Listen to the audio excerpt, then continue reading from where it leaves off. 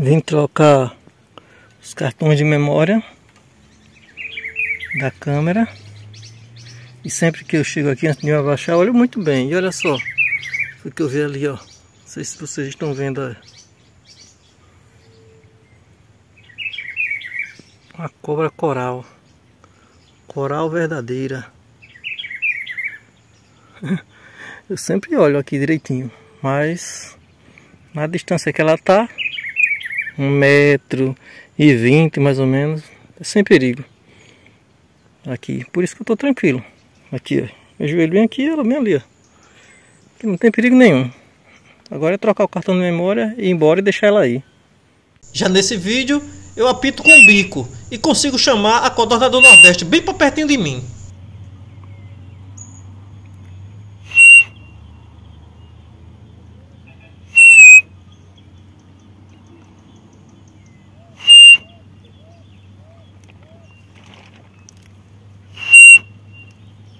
Então ela viu uma outra que estava sendo atraída pelo bico e eu não estava vendo, e correu na direção dela.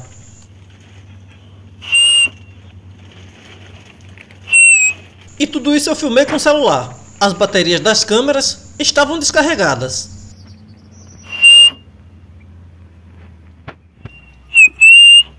Quando as duas se encontraram, deram um show e ficaram cantando alto, bem alto mesmo.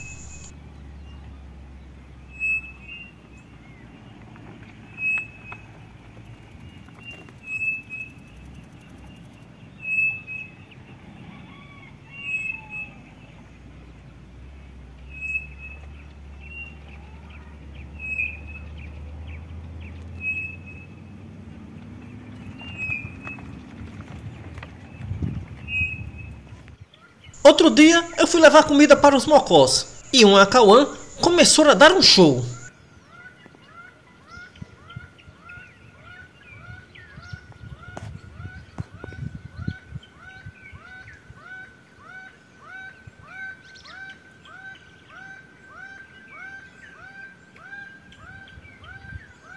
Ela estava cantando na parte de cima, na mesma direção do local que eu tinha visto ela cantar em outro momento, e que fiz até um vídeo dela vocalizando. Um espetáculo para nossos ouvidos.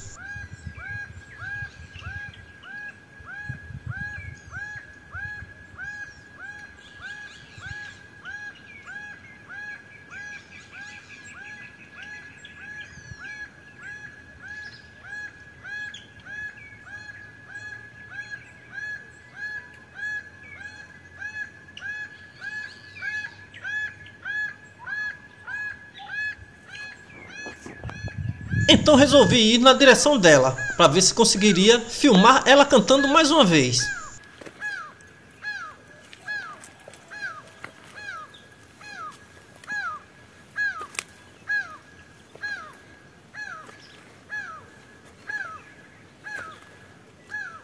E ela estava lá, pousada no grande pé de facheiro, porém já tinha parado de cantar. Mas eu fiz esse registro para mostrar como ela é linda. Na piscininha, registrei os twins bebendo água. Pense nos bichinhos bonitinhos.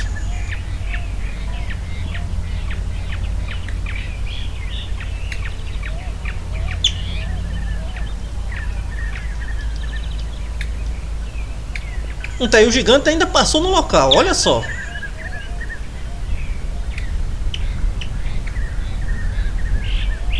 Essa fêmea de chupim estava ali, só observando o local procurando um ninho para parasitar e pôr seus ovos.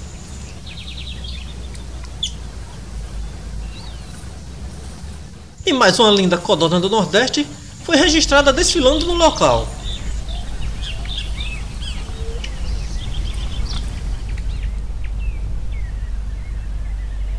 As gralhas cancãs também apareceram e foram para a ceva se alimentar no comedouro.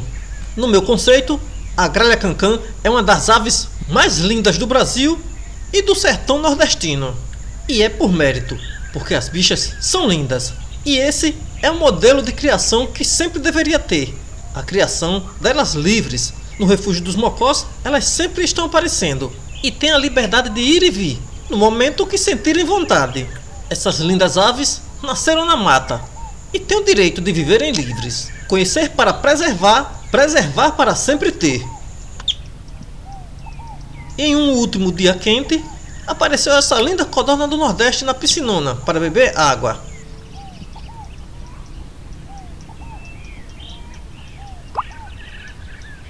E o inverno chegou de vez na Caatinga, com muita chuva. Vejam só o riachinho como ficou.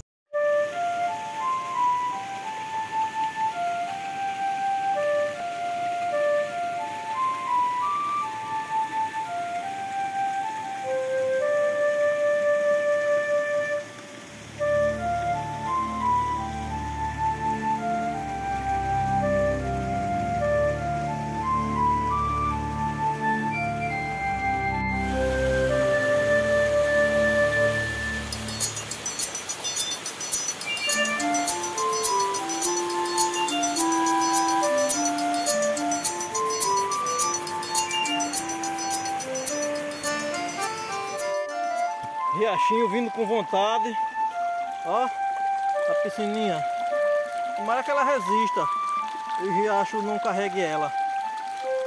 Vou colocar uma pedra ali para tentar proteger, mas eu não sei se vai conseguir não, porque vem muita chuva ainda. E o riacho, ele tá forte, mas ele vai ficar muito mais ainda. E que leve a piscininha. Eu faço outra. Coisa boa é chuva no sertão. A chuva é o ouro sertanejo caindo do céu. E eu visitei outros grandes riachos para ver o espetáculo da natureza. Esse é o lindo riacho do Pau-Ferro.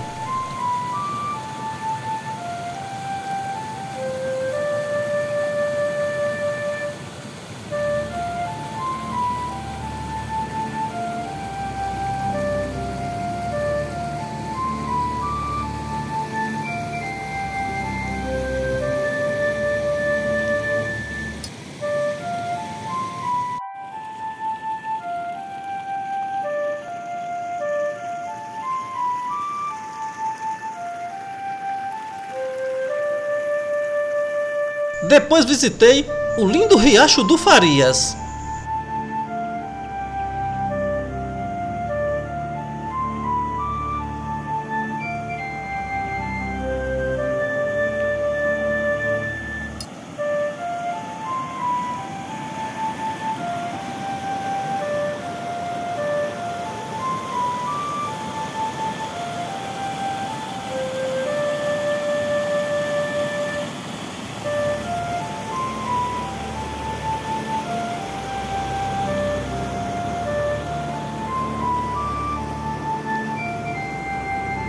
No refúgio dos Mocós, o verde tomou de conta.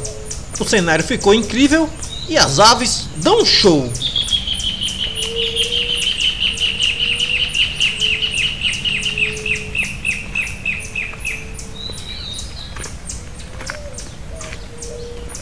Esse verde exuberante serve como prova de que o sertão não é apenas seca, com galhos retorcidos e de cores cinzentas e com aparência de morta. Não se enganem, a Caatinga é cheia de vida e eu provo com meus vídeos. Os twins voltam para o ninho da casaca de couro amarelo. Irão reaproveitar mais uma vez para fazer seu ninho. Os capins que foram plantados na reserva já começaram a atrair aves esporófilas. E os primeiros a aparecerem foram os golinhos. Esse primeiro que estamos vendo é uma fêmea.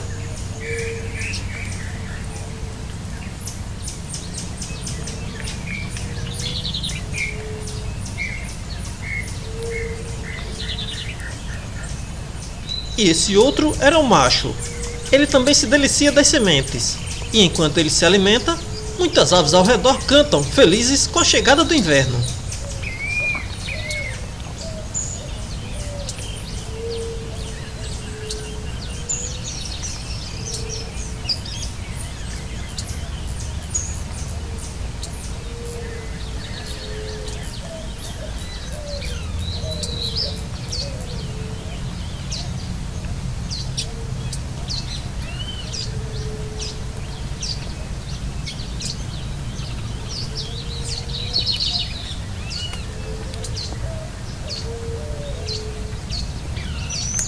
Depois, a fêmea toma um banho na piscinona para relaxar. Algumas aves também vieram comer no comedouro.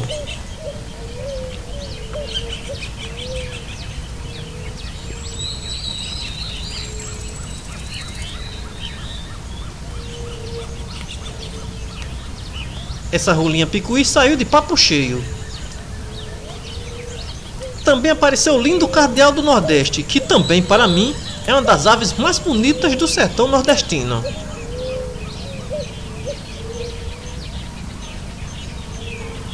Mesmo com a comida farta, disponível na Caatinga com a chegada do inverno, as gralhas cancãs voltaram a aparecer e visitaram os comedouros normalmente. Essa daí estava tentando quebrar o milho e assim engoliu os pedaços.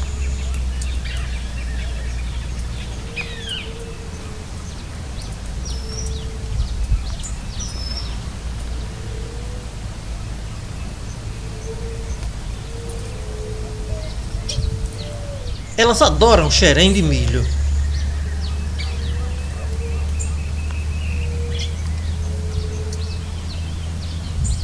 A corruíra também estava muito feliz com a chegada do inverno.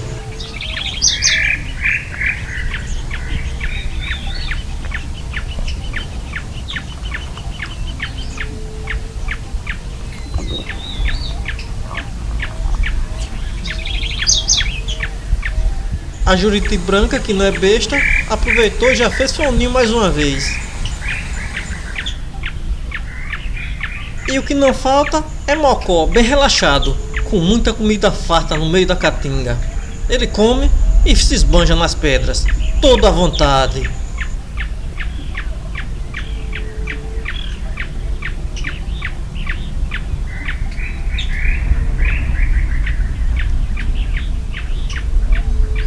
Já esses dois é uma família. E vocês já sabem quem são. Porém, eu só irei revelar daqui a pouco. Uma coisa que podemos ver é que eles também estão bem à vontade, bem tranquilos.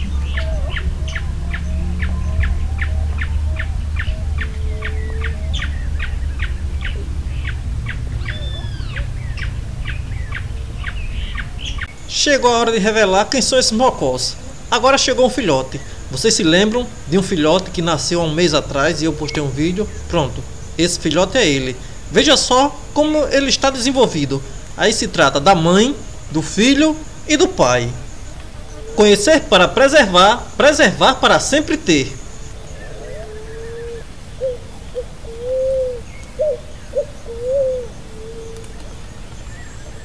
E são com imagens deles que eu encerro mais um vídeo. Eu lembro a vocês que não se esqueçam de deixarem seu like. Vocês que são novos por aqui, não se esqueçam de se inscreverem no canal. Todos vocês deixem um comentário a respeito do vídeo. E um grande abraço para todos vocês do fundo do meu coração.